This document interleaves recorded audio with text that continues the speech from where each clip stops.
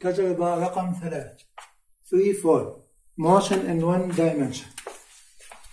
افترض جسم يسقط من ارتفاع y بسرعة ابتدائية v نوت y تساوي لي 0 معادلة الحركة العامة التي تصف الحركة هي y تساوي v naught y.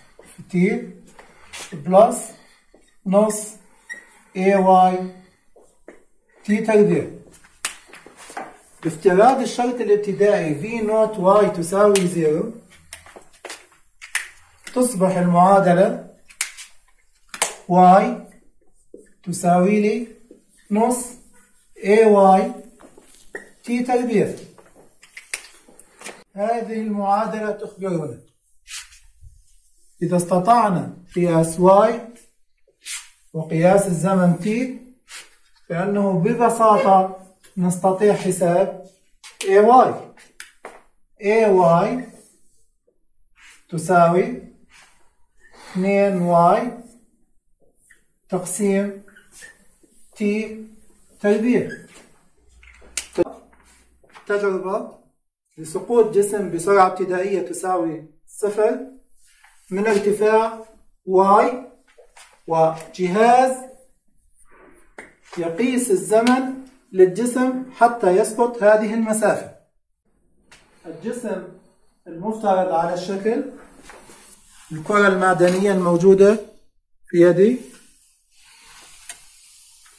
بكل بساطة الارتفاع y نستطيع قياسه باستخدام أي أداة قياس. وجهاز التايمر الموجود هو جهاز لقياس الزمن T.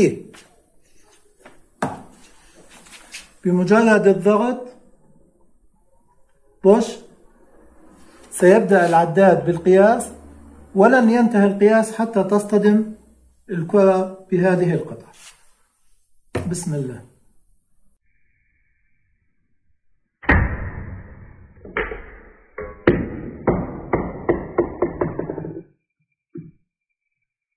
قياس y وقياس t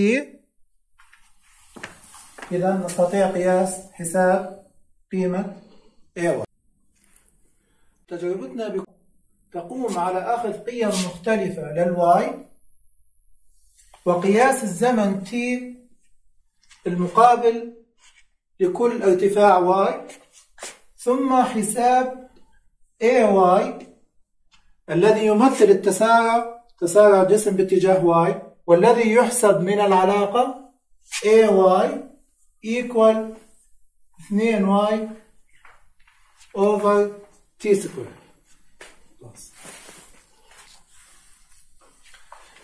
بزيادة قيم y as y increases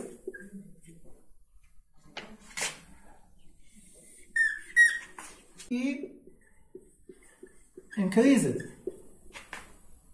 السؤال ماذا يحدث لقيمة AY